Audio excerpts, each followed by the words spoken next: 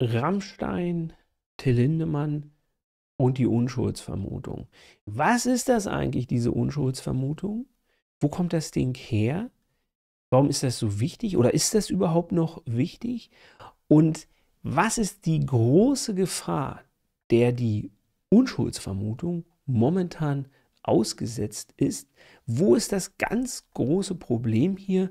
Und unabhängig davon, ob man jetzt Till Lindemann heißt oder sozusagen der Otto Normalverbraucher ist, wie sehr gefährdet uns der na, wie soll ich das sagen? Der Untergang der Unschuldsvermutung würde ich noch nicht sagen, aber die Gefährdung der Unschuldsvermutung, wie weit gefährdet uns das in der Gesamtheit, wie weit gefährdet das auch den Rechtsstaat. Ich muss mich ähm, am Anfang outen, eine, eine, Offenlegung machen, macht man ja auch immer so gern, ja, eine Offenlegung. Ich bin also Rammstein-Fan wirklich der ersten Stunde gewesen. Ich war auf den ersten Konzerten, danach nicht mehr so, ja, aber in den frühen 90ern. Und äh, noch lange Zeit danach äh, habe ich diese Band wirklich äh, sehr stark verfolgt. Fand die Konzerte, die ich gesehen habe, sehr, sehr gut.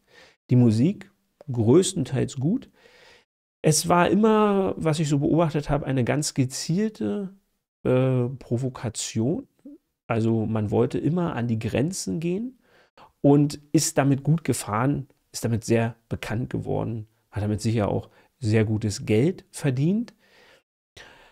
Ist vielleicht auch darüber an der einen oder anderen Stelle etwas zynisch geworden und ja, vielleicht auch ähm, etwas abgehoben. Das mag alles sein, kann ich nicht beurteilen. Ja, aber äh, die, das Maß der Häme, die, das jetzt der Band so entgegenschlägt oder vor allen Dingen äh, Till Lindemann entgegensteht, das finde ich schon extrem und das findet man zurzeit immer wieder, äh, auch an anderen Stellen. Und äh, ja, ich, ich äh, finde, also, also erschreckt mich manchmal etwas. Ja.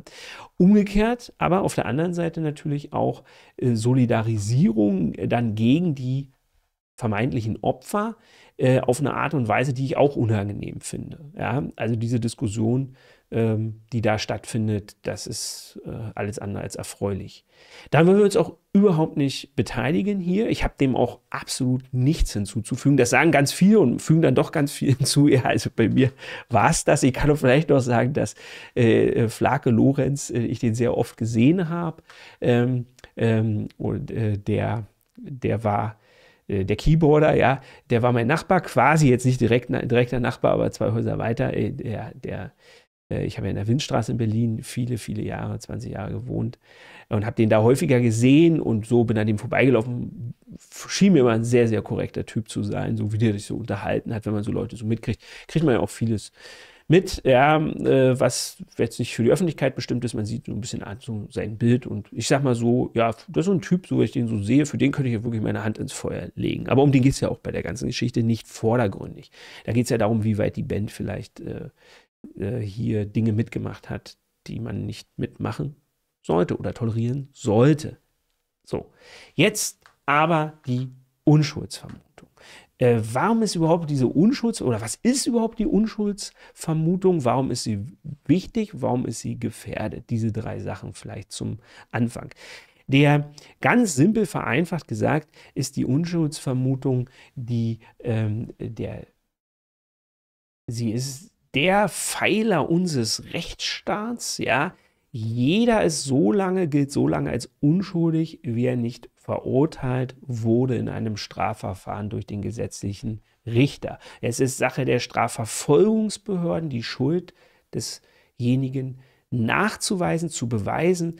Der Richter braucht eine an Sicherheit grenzende Wahrscheinlichkeit, dass der Täter das gemacht hat, wenn er ihn verurteilen möchte. Es reicht nicht im Zivilverfahren die Überzeugung, das war so, sondern es muss eine an Sicherheit grenzende Wahrscheinlichkeit sein. Also jeden, jeder vernünftige Zweifel muss ausgeschlossen werden können. Ansonsten gilt im Zweifel für den Angeklagten in dubio pro reo, der ist frei zu sprechen. Dann diskutiert man über Freisprüche erster und zweiter Klasse. Da wollen wir jetzt aber hier nicht, das wollen wir jetzt, fast machen wir jetzt nicht auf. Ja, jeder, der mal selber Gegenstand eines Strafverfahrens war oder Anwalt im Strafverfahren, ich bin regelmäßig, war jetzt erst letzte Woche wieder bei einem Termin, ja, ähm, der weiß, wie wichtig dieser Grundsatz ist.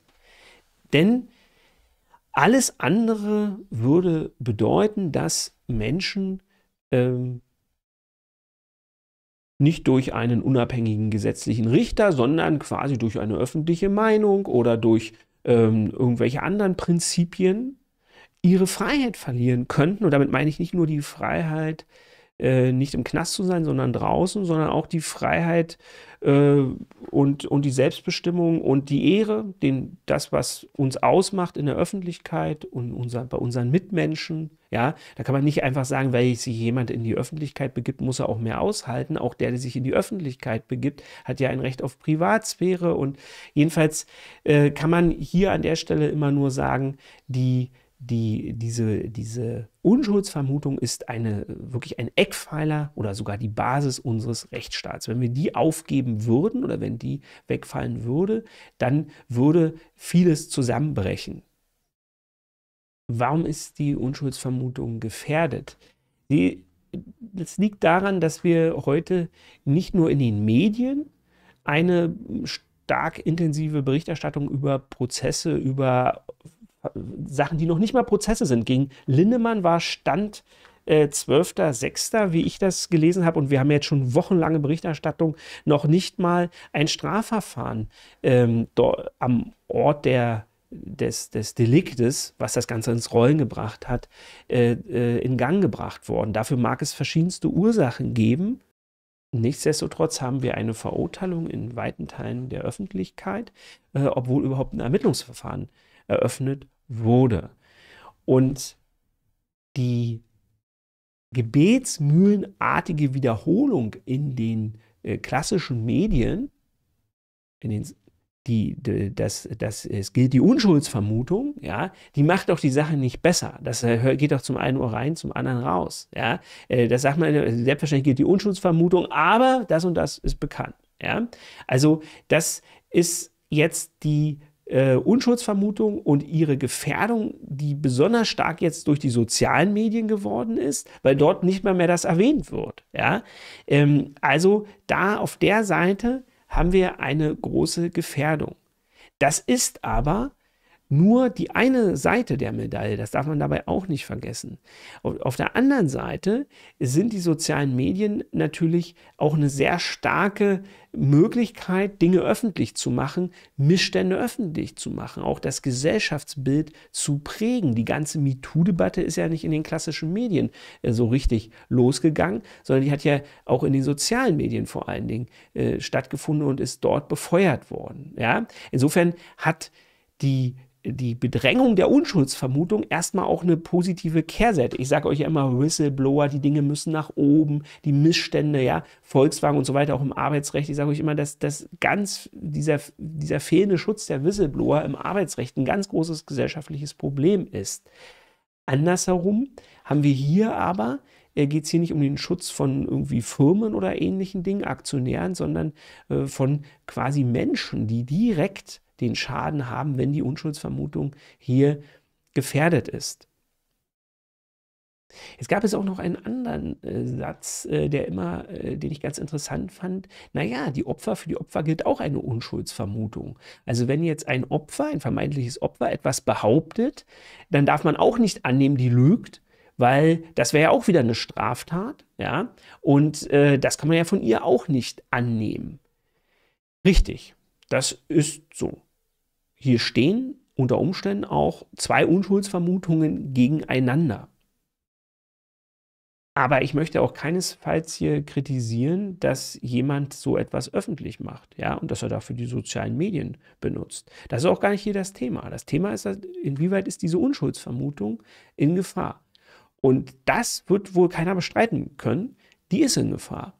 Denn wenn, das hat man vielleicht erstmals damals im Kachelmann-Prozess äh, gesehen, wenn jemand auf so eine Art und Weise mal am Pranger stand, dann spielt es am Ende schlichtweg keine Rolle mehr für den Schaden, den er hatte, für die Vernichtung, die gesellschaftliche Vernichtung, die er erfahren hat. Dann spielt es am Ende überhaupt keine Rolle mehr, was wirklich war, was bewiesen werden konnte und ob derjenige am Ende verurteilt wird. Er wird nicht verurteilt und trotzdem hatte er alles erlitten oder mehr erlitten als mancher, der im stillen Kämmerlein verurteilt wurde, so unter Ausschuss der Öffentlichkeit, obwohl er als Politiker, als Verkehrspolitiker eine Trunkenheitsfahrt begangen hat oder so als Beispiel, ja, oder obwohl er als Politiker Maskenbetrügereien begangen hat, äh, schadet seiner Partei nicht, schadet ihm nur begrenzt, ja, äh, und das ist sicherlich nicht in der Abwägung nicht in Ordnung. Vor allen Dingen, wenn dann bestimmte Dinge gerade Thema sind und deswegen besonders laut am Start sind ähm, und deswegen äh, die aktuelle äh, Debatte äh, quasi auf dem Rücken Einzelner ausgetragen wird. Aber da wird man nur drüber jammern können, da wird man nichts dran ändern können. Das war übrigens schon immer so. Das hat also nichts, ist nichts Modernes. Es gab immer Fälle, die die Öffentlichkeit so weit erzürnt haben oder beschäftigt haben, äh, weil sie äh, gesellschaftliche Themen berührt haben, die gerade problematisch waren, dass die, die zufälligerweise vielleicht oder vielleicht auch nicht zufälligerweise, aber jedenfalls warum auch immer, äh, da die Protagonisten waren, ähm, sehr stark gelitten haben. Im Arbeitsrecht habe ich euch das immer an dem Fall Emily erklärt. Ja, Emily und Kaiser damals, Kaisers diesen Pfandbon da äh, zu ihren Gunsten eingelöst hatte, wusste man ja auch alles gar nicht genau, was da am Ende passiert war. Ja, äh, Emily hatte gewonnen und am Ende waren aber Emily äh, relativ zeitnah verstorben und Kaisers auch. Kaisers ist nun nicht direkt persönlich gestorben, sondern in die Insolvenz gegangen, aber beide gab es nicht mehr, beide Protagonisten. Und wir als Allgemeinheit haben gelernt, dass das Bundesarbeitsgericht doch nicht der Meinung ist, wie viele Jahre früher im Bienenstichfall, dass also auch der kleinste Vertrauensmissbrauch gleich eine fristlose Kündigung rechtfertigen kann. Dass man also auch über die Jahre einen Vertrauensberg aufbauen kann und so weiter. Ja? Aber das hat vielleicht den Protagonisten nicht gut getan. Ja? In beiden Seiten nicht. Und äh, das ist vielleicht hier auch in diesem Fall so, dass Rammstein vielleicht untergeht. Ja? Äh, und man nie richtig genau erfahren wird, was da wie war. Umgekehrt kann man natürlich sagen, wenn jemand, äh, wenn es eine Person ist, die engagiert wird, um da irgendwie den, den Groupie, die Groupie-Zuführungen, äh, wozu auch immer, ja, äh, äh, zu steuern. Ähm, und wenn es äh, Sonderzonen für junge weibliche Groupies, für sehr junge weibliche Groupies gibt, dann ist das sicherlich kein verantwortlicher Umgang einer Band mit seinen Fans. So viel darf man sicher sagen. Und dann äh, schlägt vielleicht am Ende etwas doch wieder in, in, auf die richtige Weise zu, was mal nicht korrekt war das ist dann vielleicht eher eine Frage von Karma als vom Rechtsstaat dann gerade an der Stelle, weil äh, die Unschuldsvermutung, die hilft hier jetzt äh, niemandem weiter. Sie ist gefährdet und man muss halt sehen in den nächsten Jahren, wie sich das Ganze entwickelt. Wenn wir die Verurteilung künftig bei YouTube, bei Twitter oder bei Facebook haben und nicht mehr im Gerichtssaal, dann haben wir alle ein Problem. Das, so viel kann man als als Jurist, glaube ich, sagen, ohne sich hier äh, Widersprüchen auszusetzen. Aber sag mir gern deine Meinung unten in den Kommentaren, was du davon hältst, wie du die Sache bewertest. Bitte nicht zu dem Thema, wer da wie schuld ist und ob Rammstein äh, irgendwie, äh, also diese ganzen Diskussionen, die brauchen wir nicht hier im juristischen Kanal führen, sondern wie siehst du die Unschuldsvermutung? Hältst du sie für wichtig oder sagst du, nee, äh, für bestimmte Fälle brauchen wir gar keine Unschuldsvermutung mehr?